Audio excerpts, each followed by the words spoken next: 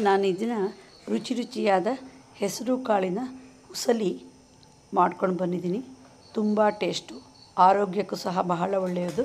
ಬನ್ನಿ ಈಗ ಇದರ ರೆಸಿಪಿ ನೋಡ್ತಾ ಹೋಗೋಣ. ಬಹಳ ಸರಳವಾದ ವಿಧಾನದಲ್ಲಿ ಉಸಲಿನ ಮಾಡೋಣ. ವಿಡಿಯೋ ನೋಡ್ತಾ ಬನ್ನಿ. ಎರಡು ಗಂಟೆ ಮುಂಚೆ ಒಂದು ಬೌಲು ಹೆಸರು ಕಾಳನ್ನು ನೆನೆಸಿಟ್ಕೊಂಡಿದ್ದೀನಿ. ಒಲೆ ಮೇಲೆ ಕುಕ್ಕರ್ ಇಟ್ಕೊಂಡಿದ್ದೀನಿ, ಒಂದು ಲೋಟದಷ್ಟು ನೀರು ಹಾಕಿದ್ದೀನಿ, ಒಂದು ಸ್ಪೂನು ಎಣ್ಣೆ ಹಾಕಿದ್ದೀನಿ. ಈಗ ನೆನೆಸಿಟ್ಟ ಹೆಸರು ಕಾಳನ್ನು ಕ್ಲೀನಾಗಿ ತೊಳೆದು ಕುಕ್ಕರಿಗೆ ಹಾಕಿದ್ದೀನಿ. ಪುನಃ ಒಂದು ಲೋಟ ನೀರು ಸೇರಿಸೋಣ.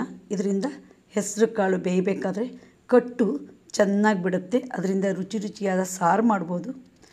ಈಗ ಹೆಸರು ಕಾಳಿನ ರುಚಿಗೆ ಕಾಲು ಚಮಚದಷ್ಟು ಉಪ್ಪು ಹಾಕ್ತೀನಿ, ತುಂಬ ಟೇಸ್ಟ್ ಕೊಡುತ್ತೆ. ಕುಕ್ಕರ್ ಮುಚ್ಚಲ ಮುಚ್ಚೋಣ, ಎರಡು ವಿಷಲ್ ಕೂಗ್ಸೋಣ. ಹೆಸರು ಕಾಳು ಬೇಯಬೇಕು, ಆದರೆ ತುಂಬ ಮೆತ್ತಗಾಗಬಾರ್ದು. ಆಗ ಹುಸಲಿ ಮುದ್ದೆ ಆಗಿಬಿಡುತ್ತೆ, ಉದುರು ಬರಲ್ಲ. ಈಗ ಸೋಸೋಣ. ಒಂದು ಪಾತ್ರೆ ಇಟ್ಕೊಂಡಿದ್ದೀನಿ ಅದ್ರ ಮೇಲೆ ಒಂದು ಸೋಸೋ ಬಟ್ಲು ಇಟ್ಟಿದ್ದೀನಿ ಈಗ ಬೆಂದಿರುವ ಹೆಸರು ಕಾಳನ್ನು ತಿಳಿ ಸಮೇತ ಸೋಸೋಣ. ಈಗ ಹೆಸರು ಕಾಳು ಸೋಸಾಯಿತು. ಇದಕ್ಕೆ ಒಗ್ಗರಣೆ ರೆಡಿ ಮಾಡೋಣ. ಒಲೆ ಮೇಲೆ ಕುಕ್ಕರ್ ಇಟ್ಕೊಂಡಿದ್ದೀನಿ. ಎರಡು ಸ್ಪೂನು ಕೊಬ್ಬರಿ ಎಣ್ಣೆ ಹಾಕಿದ್ದೀನಿ. ಈಗ ಒಂದು ಸ್ಪೂನ್ ಉದ್ದಿನಬೇಳೆ ಹಾಕೋಣ. ಸ್ವಲ್ಪ ಫ್ರೈ ಆಗಲಿ. ಪರಿಮಳಕ್ಕೆ ಕರಿಬೇವು ಹಾಕ್ತೀನಿ. ಒಣಮೆಣಸಿನ್ಕಾಯಿ ಚೂರು ಹಾಕ್ತೀನಿ ಎರಡು. ಸಾಸಿವೆ ಕಾಳು ಹಾಕ್ತೀನಿ.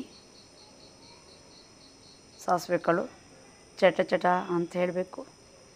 ಈಗ ಒಂದು ಹಸಿಮೆಣಸನ್ನ ಸಿಗದು ಹಾಕಿದ್ದೀನಿ. ರುಚಿಗೆ ಕಾಲು ಚಮಚದಷ್ಟು ಹಿಂಗೆ ಹಾಕ್ತೀನಿ. ಅದು ಪರಿಮಳ ಸಹಿತ ಕೊಡುತ್ತೆ.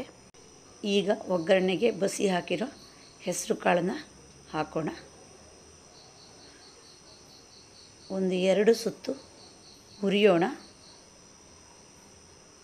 ಬಹಳ ಸರಳವಾಗಿ ಮತ್ತು ಬೇಗ ಮಾಡುವಂಥದ್ದು ಈ ಹೆಸರು ಕಾಳಿನ ಉಸಲಿ. ಆರೋಗ್ಯಕ್ಕೂ ಬಹಳ ಒಳ್ಳೆಯದು ಹೆಸರು ಕಾಳು. ಮೊಳಕೆ ಬರ್ಸ್ಕೊಂಡು ತಿನ್ಬೋದು, ಉಸ್ಲಿ ಮಾಡ್ಬೋದು ಇದ್ರ ಪಾಯಸ ಮಾಡ್ತಾರೆ ಇದ್ರ ಹುಗ್ಗಿ ಮಾಡ್ತಾರೆ ಇದ್ರ ಸಾಂಬಾರು ಮಾಡ್ತಾರೆ ಬೇಕಾದಷ್ಟು ಅಡುಗೆಗಳು ಮಾಡ್ತಾರೆ. ಹೆಸರು ಕಾಳು ಬೇಯಬೇಕಾದ್ರೆ ಸ್ವಲ್ಪ ಉಪ್ಪು ಹಾಕಿದ್ದೆ. ಅದಕ್ಕೆ ಈಗ ಕಾಲು ಚಮಚದಷ್ಟು ಮಾತ್ರ ಹಾಕ್ತೀನಿ. ಪರಿಮಳಕ್ಕೆ ಒಂದು ಸ್ಪೂನಷ್ಟು ಕೊತ್ತಂಬರಿ ಸೊಪ್ಪು ಹಾಕಿದ್ದೀನಿ. ಉಸಲಿ ರೆಡಿ ಆಯಿತು. ಗ್ಯಾಸ್ ಆಫ್ ಮಾಡೋಣ.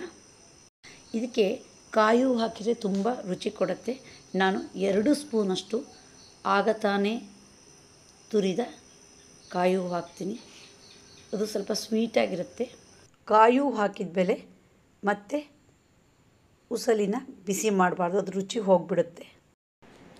ಹೆಸರು ಕಾಳಿನ ಕಟ್ಟಿನ ಸಾರಿನ ಜೊತೆ ಹೆಸರು ಕಾಳಿನ ಉಸಲಿನ ನಂಚ್ಕೊಂಡು ಊಟ ಮಾಡಿದರೆ ಇನ್ನೊಂದಷ್ಟು ಮತ್ತೊಂದಷ್ಟು ತಿನ್ನೋಣ ಅನಿಸ್ಬಿಡುತ್ತೆ. ಅಷ್ಟು ಆರೋಗ್ಯಕ್ಕೆ ಒಳ್ಳೆಯದು ಈ ಹುಸ್ಲಿಗೆ ಲಿಂಬೆಹಣ್ಣಿನ ರಸ ಹಾಕ್ತಾರೆ. ಆದರೆ ನಾನಿಲ್ಲಿ ಹಾಕಿಲ್ಲ.